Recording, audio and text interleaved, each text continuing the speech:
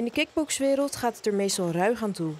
Maar de hoofddorpse kickbokser Rashid Belaini laat zien dat achter die brute kracht een klein hartje schuil kan gaan. Deze week laat hij zijn ongeneeslijk zieke medebokser Robbie Hageman benefiettrainingen geven in zijn sportschool.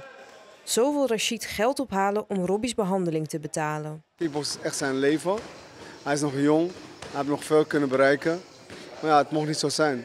Robbie heeft een hersentumor en moest daarom de handdoek in de ring gooien. In Nederland is hij uitbehandeld, maar een dure behandeling in Amerika kan zijn leven aanzienlijk verlengen. Ik wil wel dat hij echt dat hij terugkomt voor zijn kinderen. Voor zijn eh, mooie gezin, dat hij daarvoor eh, gaat leven.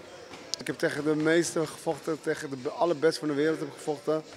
Het is heel anders. Deze jongen heeft me gewoon geraakt. Voor hem heb ik gewoon een zwakte. Dus daarom doe ik dit ook voor hem. Hij eh, helpt me nu heel erg.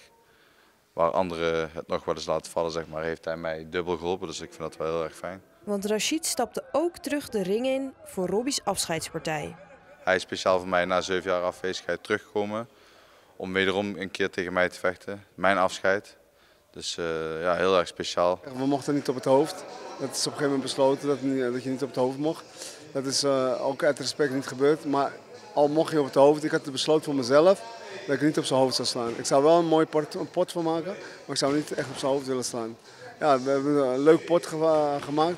Het was een hele emotionele pot ook. Maar je liet hem er niet makkelijk vandoor gaan met de winst. Nee, je krijgt hem niet cadeau. Nee. De behandeling kost in totaal bijna een half miljoen euro. Bijna de helft van dit bedrag is nu ingezameld. Het geeft dan toch wel weer hoop. En eh, sowieso om te zien wat mensen, bijvoorbeeld als je het nu voor me doet. eh, maar zo zijn er veel mensen die wat betekenen zo heel erg mooi.